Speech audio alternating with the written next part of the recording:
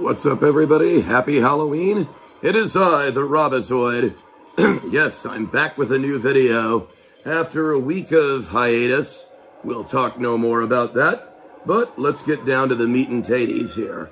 For you see, it is Halloween, and if we got some scary stories to tell you here, I mean, really scary ones. I mean, scarier than what's going on right now. But quite frankly, let's just dive right into it because there's a lot of silliness to actually talk about here. And remember, as always, I am the Robbizoid, your semi-likable and occasionally tolerable, tolerable curmudgeon of the YouTube airways who still has a bit of a sore throat. But I'm too dedicated a person, even in these scary times, not to give you a new video. And just because I have your attention, I'm looking through you. What did I know? I'm looking through you. Where did you go? And so we learn that Disney is once again taking a big dump on a mythical character here in the form of Hercules with Michael B. Jordan, whom you might remember from the Creed movies playing Apollo Creed. That, yeah, he'll be playing Hercules because, well, we got to change the demographic for future generations. Great. You want future generations to grow up stupid, not knowing what real mythology was? Does Disney learn nothing from their obvious screw-ups? We saw how poorly the race-swapped Ariel fared with, with viewers and critics alike um, with the Little Black Mermaid.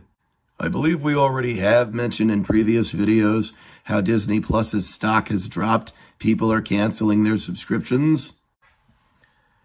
And even though this year is Disney's 100th anniversary, eh, who really gives a shit anymore? Well, and since they're in decline, and, well, they don't really care about their own audience anymore.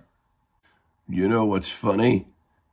The Spider-Verse movies aren't even made by Disney. They're actually still made by Sony. And you know what? I actually think they're pretty good. Oh, hold on a minute. My cat's calling me.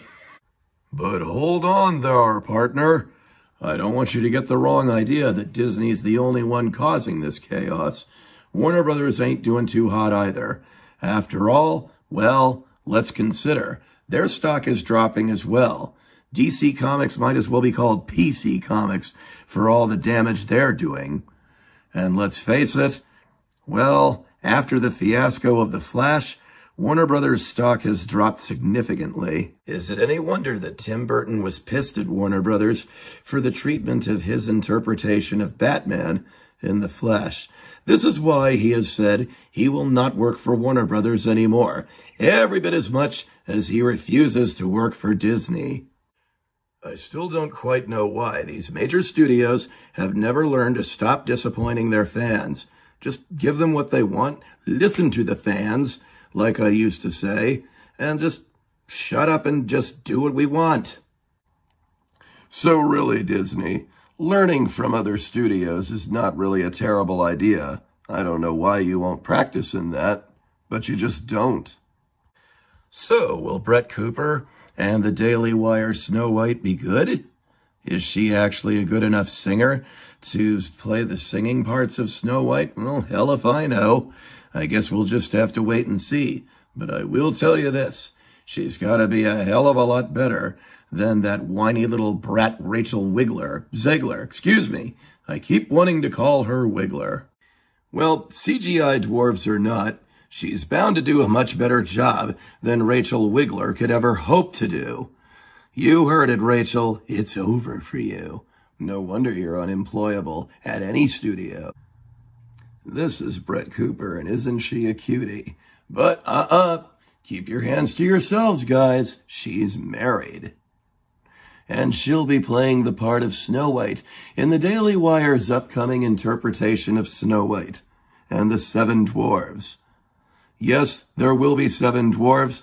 That's the plus side. And she's got to do a hell of a better job than Rachel Wiggler. I mean, Zegler. Now, the reason why the Snow Woke and the Seven Little People is going to be delayed by another year is because they're redoing it, getting rid of the well, the seven Renaissance fair rejects, the seven hippies, whatever, and replacing them with CGI dwarves. Yeah, CGI dwarves. Mm-hmm. Well, you remember that video of that one Munchkin actor complaining about how it's tough for him to get work? I believe this is exactly what he meant. In fact, let's try to get a much better look at it if we can. Wow, that looks terrible. I just don't see what the hell was wrong with this in the first place.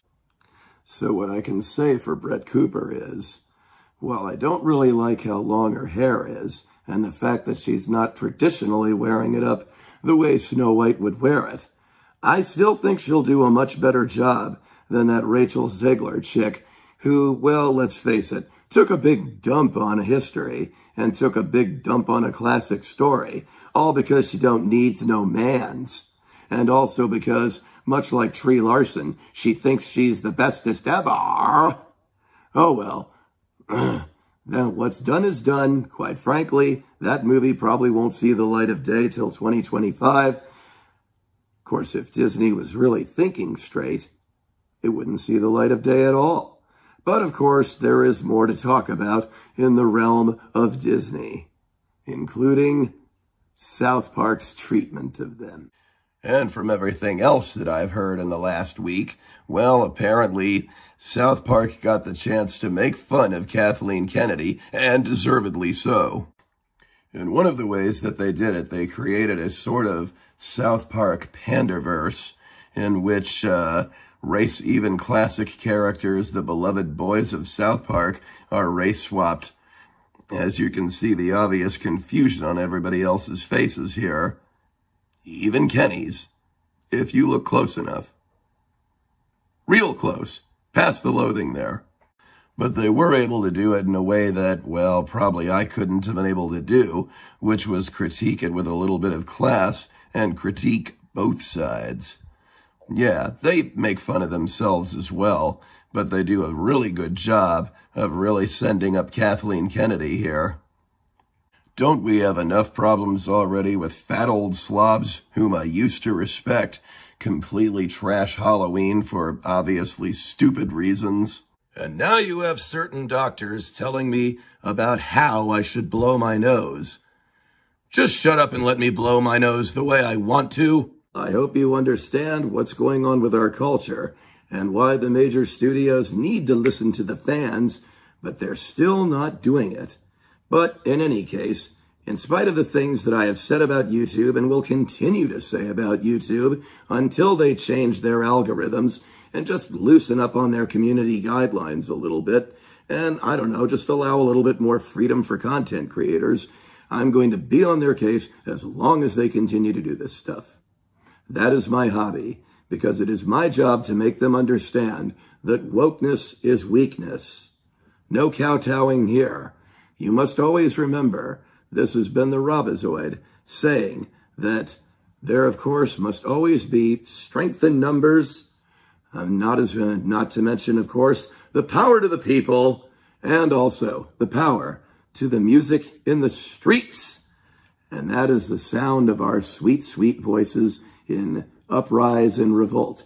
So remember, as always, to give this video a like and subscribe to the channel because it really helps this channel out. It's good for you. It's good for me. And let's face it, it's a good idea as well. You get a lot more information out of it. Furthermore, I would like to discuss further. The hell was that? Um, I'm not sure, but I think there may be a ghost at my door. Uh, have a safe, happy Halloween, everybody you know who I am and you know why I do it.